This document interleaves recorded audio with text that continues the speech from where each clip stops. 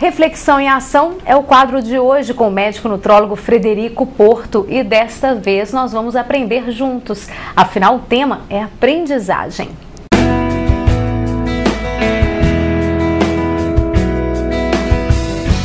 Olá, o assunto de hoje é aprendizagem. Vivemos em um mundo repleto de informações. Para você ter uma ideia da quantidade de informações que nós lidamos hoje, se você considerasse toda a informação que havia no ano 1 da era cristã, no ano que Jesus nasceu, e você considerasse toda aquela informação uma unidade de informação, ela só ia dobrar, passar de uma para duas unidades 1500 anos depois. Ia demorar 1500 anos para dobrar a quantidade de informação. Ela ia dobrar novamente, passar de duas para quatro unidades 250 anos depois. E assim por diante. Hoje, para você ter uma ideia, o volume de informação no mundo dobra a cada aproximadamente 12 meses. Acredita-se que por volta do, do, ano 2030 vai dobrar a cada 20 dias.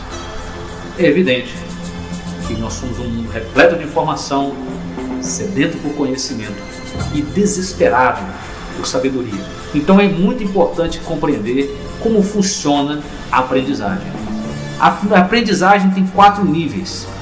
O primeiro nível da aprendizagem chama-se inconscientemente incompetente. É quando você não sabe que não sabe. Vamos supor que você nunca tenha visto um carro na vida. Você não sabia que não sabia dirigir, concorda? Um dia você vê o carro. Quando você vê o carro, você entra no segundo nível, é conscientemente incompetente. Você sabe que não sabe. Ótimo. E aí você resolve aprender a dirigir. Você entra na autoescola, tá certo? Aí você começa a praticar. Então você está numa fase que nós chamamos de conscientemente competente. Você sabe o quanto que você sabe. Você sabe, por exemplo, que você não consegue fazer meia embreagem. Né? Você troca de marcha então no pé do morro para então subir o morro. E aí você vai praticando, praticando, praticando, até que um dia você tira sua carteira e continua praticando. E, por exemplo, acontece uma vez no trânsito de alguém entrar na frente do carro e você desviar sem ter que pensar. Você então está no quarto nível, que é o inconscientemente competente. É quando você não sabe o quanto que você sabe. O aprendizado está todo internalizado. Para passar do primeiro para o quarto nível, algumas coisas acontecem. Primeiro, você vai errar.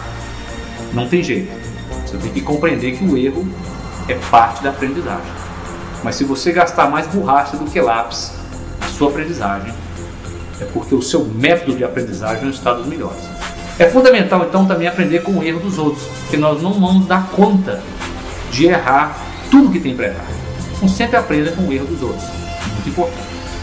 Então lembre-se, a aprendizagem tem quatro níveis e cada vez mais, com tanta informação no mundo, você vai passar por esses quatro. Pense nisso, coloque em prática e até a próxima.